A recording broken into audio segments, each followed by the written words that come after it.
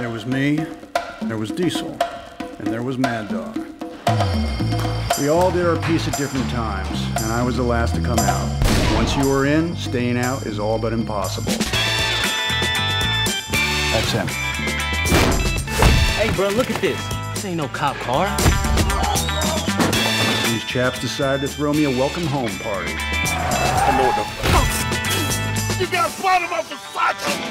Versace. You need to get us some real work because this is no kind of life. This take forever.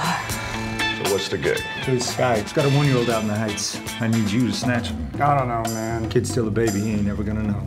If he was four or something, I'd never be doing that. You wouldn't do that. This is the game plan. Big job for us, baby napping. No, that don't sound so good. It's not, and I'm not saying it is.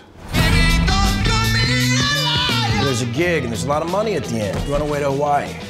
It never works out. I think it does sometimes. You just don't know about it because they run off to Hawaii and you don't ever hear from them again. You have absolutely no idea how to control your emotions. Just take our money. We won't say anything. We're gonna call the police the minute he gets away. No, we are not. I didn't want justice. Am I under arrest?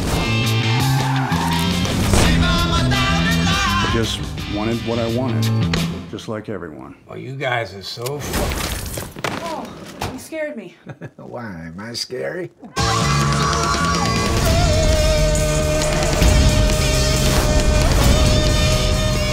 You feel like you got problems?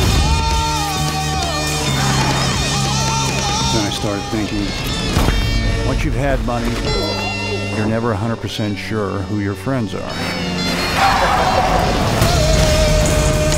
We are not gonna go down. It's gotta be samurai style. Jackie Chan.